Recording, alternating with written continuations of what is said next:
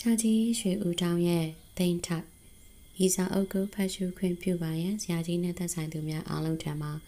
ခွင့်တောင်းလိုက်ပါတယ်ရှင်အပိုင်း6ရှာရမယ်ဆိုရင်လည်းအကုန်ရှာပါရစေမရှာရလို့ရှိရင်လည်းတခုမှကျွန်တော်မရှာလိုပါဘူးမင်းကြောကြီးခင်ဗျာဟုပြောတော့အခါမင်းကြောကြီးမှာပစ္စည်းပြောက်ဆုံးသည်ကိုများစွာမှတ်နှမျောလာတော့လေမောင်ဆန်ရှာအားအာနာတိကတစ်ဖက် သမီးကိုပြော၍မရသည်ကတစ်ဖက်ကြောင့်စိတ်ရှုပ်သည့်လက္ခဏာနှင့်ရှိနေရှာသည်တွင် မောင်ဆန်ရှာသည် လူမှုလူရေး၌ကောင်းစွာကျွမ်းကျင်နားလည်သူပုဂ္ဂိုလ်တို့ဖြစ်သည့်အလျောက်သမီးအတွက်မိမိအားအားနာမှုမရှိစေရန်ကြိုတာလေးနဲ့သောစကားလုံးတို့ကိုရွေးချယ်၍ကြားနာရသူတို့ငြိမ်းချမ်းနှစ်သက်စီလောက်အောင် ပြောဆိုလေလေကျွန်တော်မှမင်းကတော်ကြီးအားချစ်ခင်ရင်ဖြစ်သည့်အတိုင်း၎င်းအတွက်စိတ်နိုင်များစွာကျေးဇူးတင်မိလေသည် ထိုကဲ့သို့ပြောဆိုလျက်ရှိနေစဉ်စောရှင်သည်မင်းတော်ကြီးကိုကိစ္စတစ်ခုဖြင့်အခန်းတွင်သို့ဝင်လာလေရာဧည့်သည်တော်မောင်ဆန်ရှားကိုတွေ့ရသည်နှင့်ကိစ္စကိုမပြောဘဲတဖန်ပြန်၍ထွက်သွားသည်နှင့်မောင်ဆန်ရှားကတစုံတစ်ခုကိုစဉ်းစားစိတ်ကူးနေသည့်ဟန်ဖြင့်အတန်ကြာအောင်ငေးဆ၍ကြည့်ပြီးနောက်မိမိနှစ်ဖူးကိုလက်ညှိုးဖြင့်တို့လျက်အော်ဟုတ်ပြီဟုတ်ပြီဒီတငယ်မကိုကျွန်တော် တခြားမှမြင်ပူးပါတယ်မင်းရောကြီးခမဘယ်မှာလဲရှင်လွန်ခဲ့တဲ့တနေ့လောက်ကမိမထောင်မှာမြင်ပူးပါတယ်ဟုပြောလေလေမင်းရောကြီးသည်အနှဲငယ်မျက်နှာပြတ်သွားပြီးနောက်သူဝှက်၍ထားတော့လဲအကျိုးမရှိသည့်အဖြစ်ကိုမြင်သည်နှင့်စောရှင်ရေးထုတ်ပတ်တီကိုမိမိသိရှိသလောက်ပြောပြပြီးလင်မိမိအိမ်၌နေထိုင်ခဲ့သည့်နေ့မှစ၍တစိုးတစင်းမြမယုံမကြည်ပွဲရာမရှိပါကြောင်းပြောဆိုပြီးနောက် တငယ်မပေါ်၌သင်္ကာမကင်းဖြစ်ဖို့မရှိဘူးမှတ်ပါတယ်ရှင်တပံခိုးချင်းဝယ်ချင်းအမှုကိုတော့ဖြင့်ပြုတ်ပုံမရပါဘူးဘယ်သူကိုမှအခုချိန်ဒီခိုးတယ်လို့ကျွန်တော်ကမစွဆွဲသေးပါခမညာဟုပြောလင်မင်းတော်ကြီးလည်းအစွမ်းရှိသမျှစူးစမ်းအားထုတ်၍ဆုံထပါမည်အကြောင်းကိုပြောဆို၍ကိစ္စပြီးသည်နှင့်အပြင်သို့ထွက်သွားလေသည်မောင်ဆန်ရှာဆိုသူစုံနောက်ကြီး၌ထူးဆန်းသောအချင်းရာများမှာ ကျွန်ုပ်တို့မင်းကတော်ကြီးသည်အမျိုးအနွယ်အားဖြင့်မြင့်မြတ်သည့်အပြင်ရေးပိုင်ကတော်စစ်စစ်လည်းဖြစ်ခဲ့သောကြောင့်အင်စပက်တော်မြမကရာဇဝတ်ဝင်ကလေးများကိုပင်မိမိထက်အသက်အရွယ်ငယ်သည့်ဖြစ်ကမောင်ကလေးများပမာမောင်ကျုပ်စသည်နှင့်သာပြောဆိုတတ်သည်ဖြစ်ရာယခုမောင်ဆန်ရှားအားမူအရွယ်ပင်ငယ်ပါလျက်ရှင်ကျမစသည်တို့နှင့်ပြောရသည်ဖြစ်သောကြောင့်ဤတငယ်သည် သူတော်ဘာတို့၏ယိုသေးကမ်းညွတ်ခြင်းကိုစိတ်ပါသည်ဖြစ်စေမပါသည်ဖြစ်စေမပြုတ်ပဲမနေနိုင်လောက်အောင်စွဲငင်တတ်သောတကူရှိပြီးတကားဟုချီးမွမ်းမိပေ၏ကျွန်ုပ်မှာမောင်ဆန်ရှားကိုတွေ့မြင်ရသည့်အခါမှစာ၍၎င်း၏အပြောဆိုပြတ်သားပုံကြံပုံစီပုံထူးခြားပုံနှင့်တကားတည်ကြည်သောအိန္ဒိယနှင့်ရံဖန်ရန်ကတာယာနာပြောပွဲသောစကားတို့ကိုလည်းပြောဆိုတတ်သည်ဖြစ်သောကြောင့်ကျွန်ုပ်တွေ့မြင်ဘူးခဲ့ရသောပလိအရာရှိတို့နှင့်ကြွားကြကြောင်းကိုသိမြင်သည်ဖြစ်၍ များစွာချစ်ခင်သောစိတ်ဖြစ်ပေါ်ခဲ့လျာ၎င်းကလည်းကျွန်ုပ်အားတိုင်ပင်ရန်ရှိကတိုင်ပင်၍မေးမြန်းရန်ရှိကလည်းကျွန်ုပ်ကိုသာမေးမြန်းသည်ဖြစ်သောကြောင့်တိုကဲ့သို့သောပုဂ္ဂိုလ်ကြီးတူတယောက်ကကျွန်ုပ်ကဲ့သို့သောသူတယောက်အားအဖက်လုပ်၍ခေါငင်ပြောဆိုသည်ကိုကျေးဇူးလက်တင်ဝန်းလန်းသာသည်နှင့်ထိုသူ၏နားမှမခွဲမခွာပဲထက်ချက်လိုက်ပါလျက်ရှိနေလေသည်၎င်းနှင့်ညနေနေဝင်လူဆဲအချိန်တွင်ပေါင်ဆန်ရှားသည်ကျွန်ုပ်နှင့်အတူအိတ်နောင်၌လမ်းလျှောက်လျက် မတ်တင်ညွ၏အကျင့်စာရိတ္တအကြောင်းကိုမေးမြန်းလျက်ရှိသဖြင့်ကျွန်ုပ်လည်းမတ်တင်ညွသည်အင်္ဂလိပ်စာတက်မြောက်သဖြင့်အနှံငယ်ပိုးဆန်သောတငယ်မတယောက်ဖြစ်တော်ညာလေစင်စစ်သဘောမှမူအလွန်တရာတီကြီးဖြောင့်မတ်သည်ဖြစ်သည်ကြောင့်မိခင်အားအလွန်တရာကျင်နာချစ်ခင်ကြောင့်မျိုးကောင်းသမီးပီပီဗလျောက်ပတ်သောအကြံစီအပြုမှုတို့ကိုမကြံစီမပြုလုပ်တတ်ကြောင်းတို့ရာတွင်အမိဘက်မှမာနအနှဲငယ်ပါခဲ့သည်ဖြစ်သောကြောင့်မိမိစိတ်၌ကောင်းသည်ဟု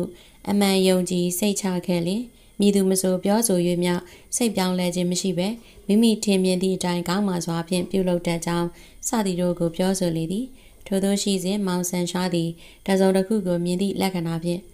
အလိုဟုယုတ်တရက်ဆိုလိုက်ရာကျွန်ုပ်ကအเจ้าကိုမေးတော့အာကျုပ်ကတခါတခါခါနာတတ်တယ်ခမဟုပြော၍ခါကိုလိန်တွန့်ဆန့်ပြီးလင်ဆက်လက်၍လမ်းလျှောက်ကြပြန်လေသည်၎င်းတော်မောင်ဆန်ရှားက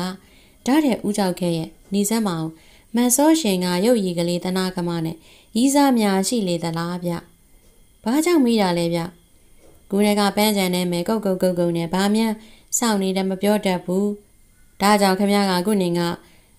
အဲ့လိုဆိုလိုက်တာလားဗျဟုတ်တယ်ဗျရီးစားရှိလို့ရီးစားနဲ့တွေ့ချင်လို့ချောင်းနေတော့ကိစ္စမရှိဘူးဗျတို့မဟုတ်ရင်ဖြင့်သူ့ပုံပန်းကတော့တော့တော့ကိုမတင်ကားစရာကြီးပဲဥကြောက်ခဲ့ရဲ့ ထို့ကကျွန်ုပ်မှမောင်ဆန်ရှားသည်စောရှင်ပေါ်၌တင်ကားမကင်းဖြစ်မည်ကိုစိုးရိမ်သည်ဖြစ်၍တငယ်မာကလေးသည်မိမိနှင့်အဖက်မတန်သည့်မောင်မြင့်ဖေအားတိတ်တဆိတ်ချစ်ကြိုက်လျက်ရှိနေကြောင်းများကိုဖွင့်ဟပြောဆိုလေသည်။အော်ချစ်ကြိုက်တယ်ဆိုတာလည်းမရိုက်ပေဘူးလေ။လူကြောလူလာတယောက်ပါပဲပဲ။စကားပြောဆိုတာကလည်းလေးလေးလေးလေးနဲ့အရေးလဲတော့လဲ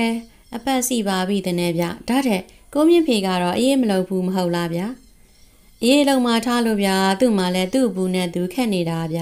။သူ့ဘူးကဘာဘူးလဲဗျ။မောင်လဲနမလဲပေါ့ဗျ။။အော်ဒီလိုကိုတော်ပါတော်ပါလျောက်ပတ်ပါရဲ့။ဂိုင်ဂိုင်အိမ်ကစီခံတွေကို9မိနစ်လောက်စီမေးစမ်းမြန်စမ်းပြရစီဗျာ။သို့တော်သူတို့ကိုမတင်ကားလို့တော့မဟုတ်။ကျွန်တော်ကိုကူညီဖို့မေတ္တာရက်ခံခြင်းတဲ့အကြောင်းကိုဥကြောက်ခဲကပြော့ပြလိုက်ပါဗျာ။အိမ်တွေးသို့ရောက်ကြလင်ကျွန်ုပ်သည်မောင်ဆန်ရှားလိုရှိသည့်အတိုင်း ထမင်းချက်ပြုတ်သောဒေါ်သာယာကြီးအား၎င်း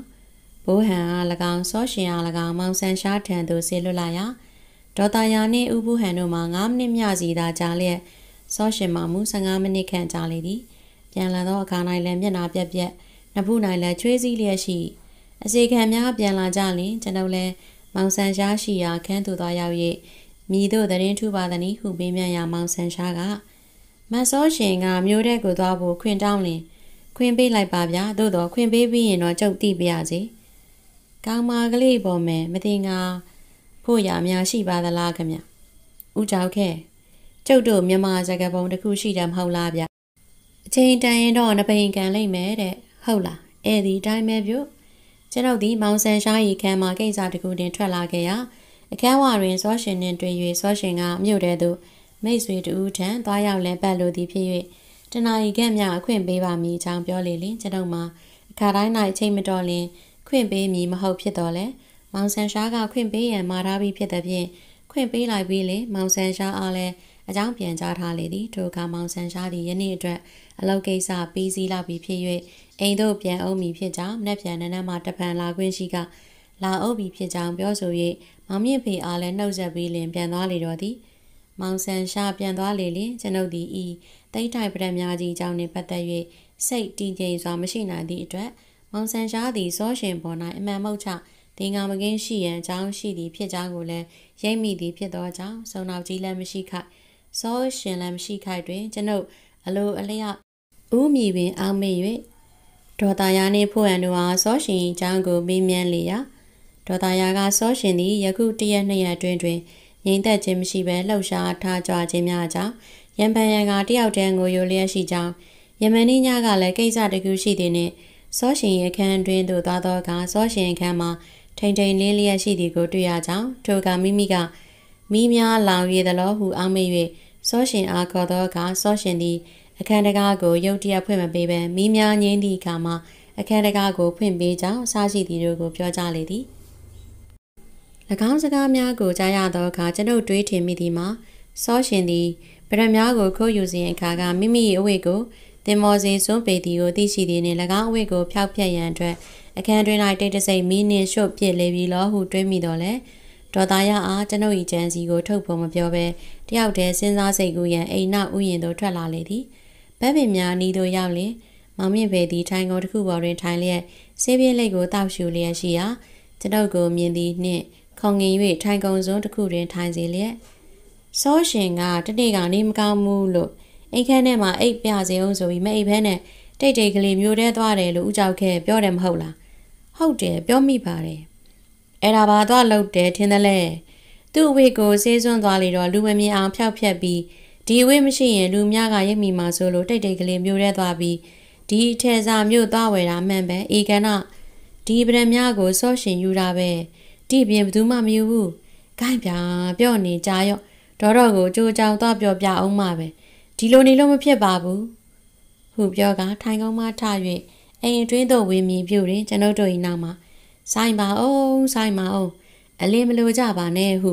ပြောတဲ့ကြားလိုက်တဲ့ဖြင့်လှည့်ကြည့်ကြရာစုံတော့မောင်ဆန်ရှားသည်ကျွန်ုပ်တို့၏နောက်၌ရက်လျက်ရှိသည်ကိုတွေ့ရလေသည်ကိစ္စကလေးမပြီးတတ်တာနဲ့ပြန်လာရတယ်ဗျနေအောင်ဗျကိုပြင်းဖေမင်းကတော်ကြီးကိုမပြောနဲ့အောင်ဗျဘာကြောင့်လဲဗျ ဘာကြောင့်လဲဆိုတော့မင်းကတော်ကြီးကိုပြောလိုက်လို့ရှိရင်မင်းကတော်ကြီးကမတ်တင်ညွန့်ကိုပြောလိုက်မယ်ဗျပြောရင်ကောဘာဖြစ်တယ်လဲဗျမပြီးခင်ဗမာမမြင်စေနဲ့လို့ဆိုတယ်မဟုတ်လားဗျယခုတော့တွင်ကျုပ်ကိုဘေးလာမြန်လာမလောက်ကြပါနဲ့ဦးဗျချိန်ကြရင်တော့ရှင်းပါလင့်ပါလိမ့်မယ်သို့တော့ခုတည်းကကျွန်တော်ပြောတဲ့အတိုင်းပဲမင်းတော်ကြီးကိုတော့ဘာမှမပြောနဲ့အောင်ဗျတကယ်လို့ပြောပြလို့ရှိရင် ဩတကယ်လို့ပြောပြလို့ရှိရင်ဒီမှုနဲ့ကျုပ်နဲ့ဘာမှမဆိုင်ဘူးကျုပ်ပြန်ယုံပဲတိလောက်ပဲရေးကြည့်သလားဗျကျုပ်ပြောတဲ့အတိုင်းပဲဗျတဲချက်တဲ့ပါကလားဗျာသို့တော်လဲဘောအောင်သာဆုံတော့ပါလေဗျာခင်ဗျားပြောသမျှကျုပ်တို့လိုက်နာရမှာပေါ့ဟုပြောလျက်မောင်မြင့်ဖေသည်အိမ်တွင်းသို့ဝင်သွားလေသည်မောင်မြင့်ဖေထွက်သွားလင်ကျွန်ုပ်လည်းအိမ်တွင်းသို့ဝင်ပြီးပြူရာမောင်ဆန်းရှားကနေပါအောင်ဦးကြောက်ခဲခင်ဗျားကိုကျွန်တော်နည်းနည်းကလေးမေးမြန်းစရာရှိပါသေးတယ်ဗျ ဒီကနေကန်တော်ကြီးသွားတဲ့အနီးဆုံးလမ်းကိုကျုပ်ကိုပြဆန်းပါဗျဟုပြော၍ကျွန်ုပ်ဤလက်မောင်းကိုဖြင်းညင်းစွာဆန်းငွင်ခေါ်ယူသွားလေရာမောင်ဆန်ရှားမှာမြည်သည့်နေရာကမှညင်းဆန်နိုင်သောလူမျိုးမဟုတ်သည့်အတွက်ကျွန်ုပ်လည်းလမ်းပြရန်လိုက်ပါသွားရလေတော့သည်ကျွန်ုပ်တို့သည်မီးထွန်းစအချိန်ခန့်တွင်အိမ်မှထွက်ခွာလာခဲ့ကြရာလမ်းကြီးတွင်ကျွန်ုပ်ကကျွန်တော်တခုမေးပြစီဗျမေးပါဗျာမင်းကတော်ကြီးကိုဘယ်နဲ့ကြောင့်စောရှင်ကြောင့်မပြောရတာလဲခင်ဗျ တတ်နိုင်လို့ဘယ်လိုပင် ထင်ရှားအောင်ပြောပေမဲ့ကြိုးမရှိဘူးဗျဘာကြောင့်လဲဗျမင်းကတော်ကြီးကတရားမစွဲပေဘူးလို့ထင်လို့လားတရားမစွဲနိုင်ဘူးလို့ထင်လို့ဗျဘာကြောင့်လဲဗျဘာကြောင့်လဲဆိုတော့ဗရမ ्या ခုမှုမှာစောရှင်ကတပည့်ပြတာဖြစ်တယ်ဗျဆရာလုပ်တဲ့သူကရှိသေးတယ်ဗျတပည့်ကိုတရားစွဲနိုင်တော့လဲဆရာကိုတရားမစွဲနိုင်ပေဘူးဗျဆရာကဘယ်သူလဲဗျခဲမရိပ်မိသေးဘူးလားရိပ်မိသေးဘူးဗျ မရိပ်မိသေးရင်လဲချိန်တန်းမှနဘိန်ကံပြီတော့ဗျဩဒါတဲ့အခုတလောစောရှင်ဝိသင်များချုပ်တယ်လို့မကြမိဘူးလားဗျကြတယ်။အိုးဟုတ်လားဘယ်ကကြားရသလဲ။ဒေါ်သားယာတို့ကပြောတယ်။အထင်ခံချုပ်သလားတိတ်တိတ်ကလေးချုပ်သလားဗျ။တိတ်တိတ်ချုပ်တယ်လို့ပြောကြတယ်။ကျုပ်တွေ့တဲ့အတိုင်းတော့ကြိုက်နေပြီဗျ။သူ့အဝတ်မှာဆေးစွန်းရာတွေ့နေတော့အထယ်စားကချုပ်ကြောချုပ်ပြီးဆေးစွန်းတဲ့ဝိတ်ကိုကန်တော်ကြီးတဲ့တိတ်တဆိတ် ခက်ပတ်ပြီးပြစ်ချရောညနေကကျုပ်ချီရခံပြီးလိုက်သွားသေးတာကပဲခမောင်းစီကအခွင့်တောင်းပြီးဒီအဝိတ်ကိုကန်တော်ကြီးတဲ့ပြစ်ချဖို့သွားတာပဲသို့တော့တိုက်ရိုက်မသွားသေးဘူးဒီအရက်အဆုံးကိုသွားပြီးတော့တဲကုတ်ကလေးတစ်ခုတည်းကိုဝင်ပြီးသွားလေရဲ့ဂိုင်းပြောရင်ဆိုရင်တဲကုတ်ကိုရောက်လာခဲ့ကြပြီဒီတဲကုတ်မှာဘယ်သူများနေသလဲမုံဟင်းကားတဲ့သားမိညောင်နေကြတယ်ထင်တယ်ဗျ မတ်စောရှင်နဲ့ဒီအိမ်ရှင်များနဲ့တော်တော်အကျွမ်းဝင်သလားဟုတ်ကဲ့စောရှင်အားလက်လိုလဲသွားရင်ဖြင့်ဒီအိမ်ကိုလာပြီးလဲတာများတယ်လို့ပြောကြတယ်ဂိုင်းဒါဖြင့်ဝင်ကြအောင်ဆိုဗျာဟုပြော၍တဲအတွင်းသို့ဝင်သွားပြီးလင်မောင်ဆန်ရှားသည်နေ့လယ်မှရောင်း၍ကြံရင်ခဲ့သောမဟင်ကားများကိုမစားခြင်းစားခြင်းနှင့်ဝယ်ယူစားသော၍မိမကြီးနှင့်ဆွေခင်မုန်းဖွဲ့လေသည်၎င်းတဲကလေးမှာဒေါ်ညိုးဆိုသူနှင့်သမီးမယ်စိန်ဆိုသူတို့တောင်းပြီးညောင်နေထိုင်ကြသည်ဖြစ်ရာသမီးမယ်စိန်သည် ခြေကောင်းစွာမတန်ဆွမ်းသည်ဖြစ်သောကြောင့်မုံကျော်စားရှိသည်တို့ကိုအိမ်မှကြော်လော်လောက်ကင်ကူညီ၍အမိတော်ညိုကမြို့ရင်း၌လှည့်လည်ရောင်းချခြင်းအပြင်အသက်မွေးမြူကြရလေသည်။သမီးမယ်စိန်အစီကံစောရှင်နှင့်အလွန်တရာချစ်ကျွမ်းဝင်ကြသည်ဖြစ်ရာကျွန်ုပ်တို့လာရောက်သည့်အခါတွင်မယ်စိန်သည်မောပန်းသည်နှင့်အိယာသို့ဝင်၍အိတ်နှင့်လျက်ရှိလေသည်။မောင်ဆန်ရှာလည်းမုတ်များကိုဝယ်ယူစားတော့ပြီးနောက်အလွန်ကောင်းမွန်ကြောင်းချီးမွမ်းပြောဆို၍ မုတ်ဘိုးကိုပေးကမ်းပြီးလင်အတိမိတ်ဆွေဖွဲ့ရင်းစောရှင်ကြောင်းများကိုစောင်းမရိတ်ချေမေးမြန်းရာမုံရင်ကတဲ့မတ်ညိုကလည်းစောရှင်အားတနာချစ်ခင်ခြင်းရှိသည့်အပြင်၎င်းပေါ်၌အစီကံများကသင်္ကာမကင်းရှိနေသည်ကိုလည်းစောရှင်ပြောသဖြင့်ရိပ်မိပြီးဖြစ်သောကြောင့်စောရှင်မကောင်းကြောင်းကိုတခွန်းတပါးမှမပြောဘဲကောင်းကြောင်းများကိုသာလျှင်ကာစီကာစီနှင့်ပြောနေသည်ဖြစ်၍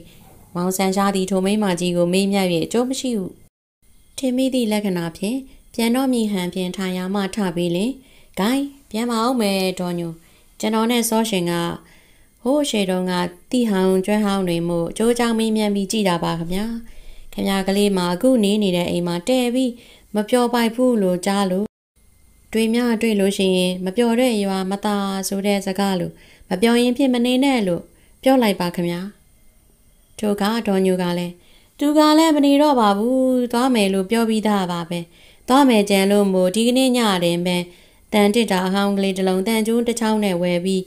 ယူသွားသေးတယ်ဒေါ်ညိုတို့စီကလားဟုတ်ပါတယ်တော့အတော်ကတစ်တာကလည်းဟောင်းကြီးတန်ကျိုးကလည်းဟောင်းကြီးမလို့ပတ်စံမယူပြရစေနဲ့ဆိုတာတော့ငွေနှစ်ချက်အတင်းပစ်ပြီးပေးသွားသေးတယ်ဟုပြောဆိုလျက်ရှိစဉ်မောင်ဆန်ရှားမှာခြေရပြောက်သူသည်ခြေရကိုတဖန်ပြန်၍တွေ့တဲ့ကဲ့သို့ရွှင်လန်းအားရသောမျက်နှာသားနှင့်စကားကိုအလင်းမပြတ်အောင် မိမကြီးစိတ်တိုင်းချပြောဆိုမေးမြန်း၍တိလိုသမျှကိုသိရှိခဲ့သည်နှင့်တဲကုန်းမှထ၍လာခဲ့ကြလေသည်နောက်တစ်ပိုင်းကိုဆက်လက်တင်ဆက်မှာပဲဖြစ်ပါတယ်ရှင်ကျေးဇူးတင်ပါတယ်ရှင်ကျွန်မတူတာပါ